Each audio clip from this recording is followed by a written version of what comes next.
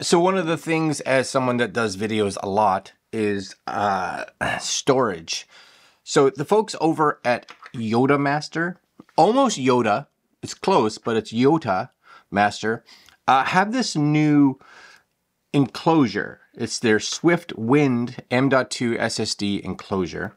Compatible, just you can see, compatible with M.2 SSDs, equipped with a cooling fan, uh, aluminum alloy shell, quick and easy installation, all kinds of things that I like. Also, because it supports USB 4 and Thunderbolt, I believe Thunderbolt, says 40 gigs, you're going to get crazy speeds. Yeah, compatible with Thunderbolt 4, 3, USB 4, 3.2, 3.1. Now realize if you're using 3.2 or 3.1, you're not going to get full speed. To get that 40 gigabits, gigabytes, gigabytes, gigabits, gigabytes, you are going to require uh, USB 4 or Thunderbolt. Uh, I have my Mac Pro here.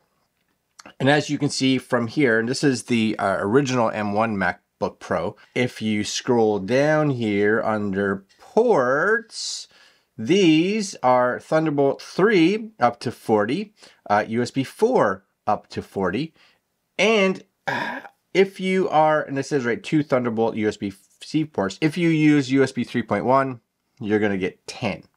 Now, I believe 3.2, maybe 20. I don't, I'm not 100%. Doesn't matter.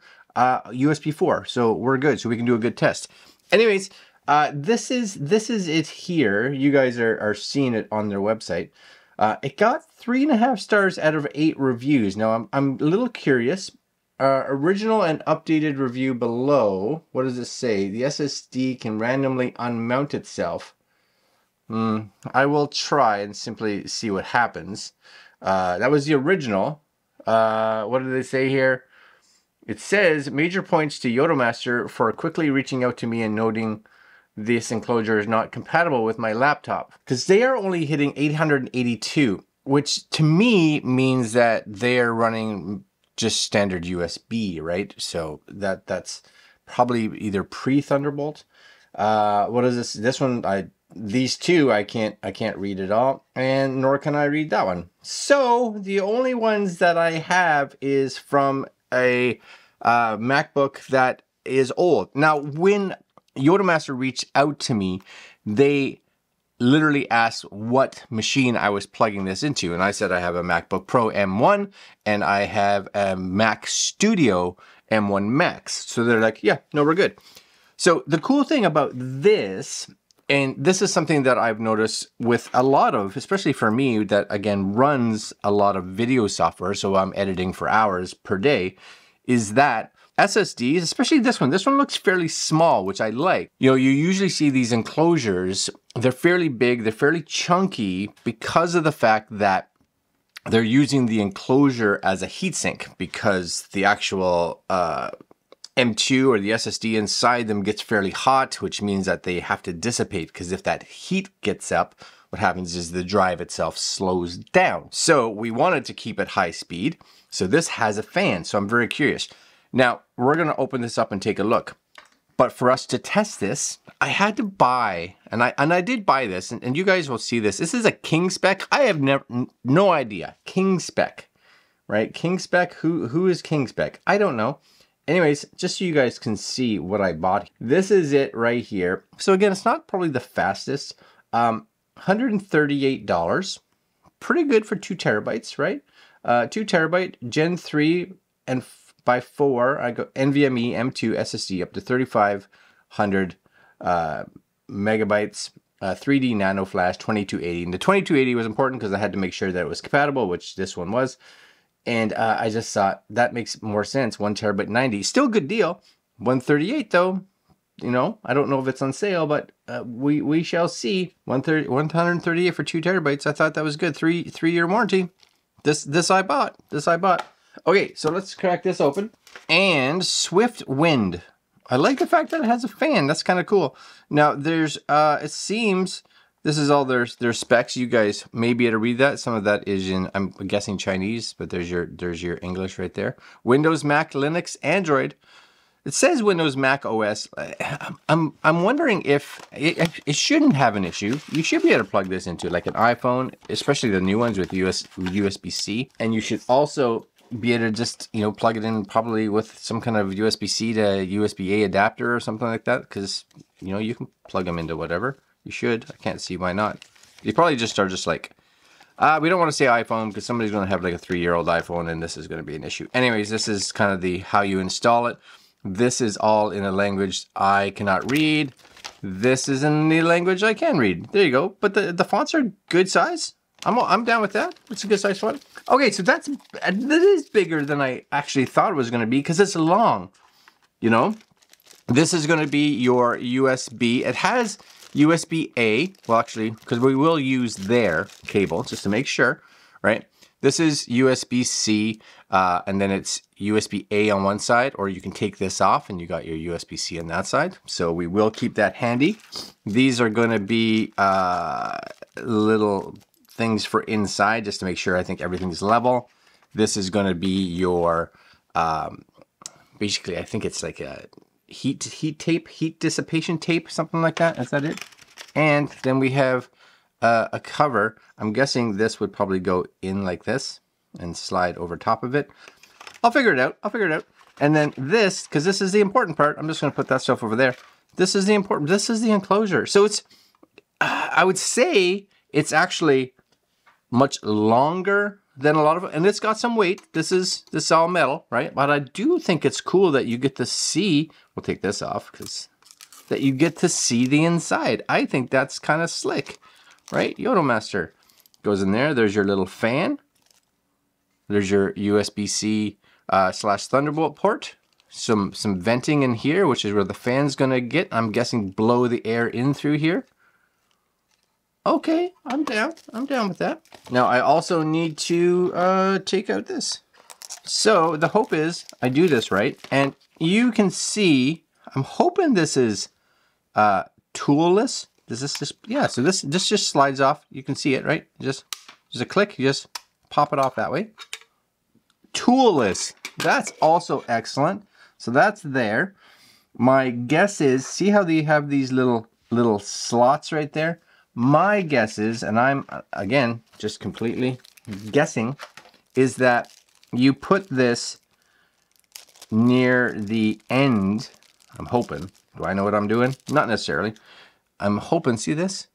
My hope is that this just goes into one of these and then it turns so that it's it's a, like a pressure point so it doesn't it can't the memory can't bend down it all depends on the size right so does it say on these which ones they're for? No. But that's fine. It doesn't matter. We're going to take this one out. Let's see how good cheap does. It's the NX series. You can't can't ask for more than that. So the one thing that I don't have, nobody nobody seems to have supplied, that is a tiny, tiny little screw. Don't don't lose that by any means. Oh, see, this is so you don't need the screw. This will go in here. Yes and keep it keep it level. It's all coming together. Okay, so this can only go in one way, which means it goes in this way, and usually that's on a, like a 45, okay, which is the long one here. This is going, this goes in here, you stick it in, it slides in, and then you spin it.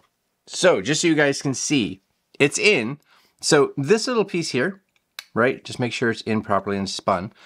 You put it in on an angle and you you slide this this little this little piece in with it, uh, turned. Then you drop them both and then you spin this dial so it locks itself in. Yes? Yes. Okay, now we have this here, which is the heat stuff, heat shield goodness along with this. So I'm guessing this can go on this, possibly. I don't know how that works. So it says this drive automatically has a heat sticker on it, which is great. I am, see they have this, right? This, this definitely goes in there. I'm just, I'm wondering if you would, you know, stick this, oops, stick this in here which makes sense. This goes in, in here. And then this, because again, it's metal, so it is another heat like uh, heat sticker, I'm gonna, I'm just, I'm just, I'm just doing this. There it is. That's, that's what I'm doing. I'm putting it like that. Is that right? I don't know. I have no idea. You guys watching it, if I can do it, you can do it. If this doesn't explode, all the best. Yes? Anyways, there it is. We take this Yoda Master, Yoda Master, and it simply, I said, I said simply, this goes on one of these ways. Yes?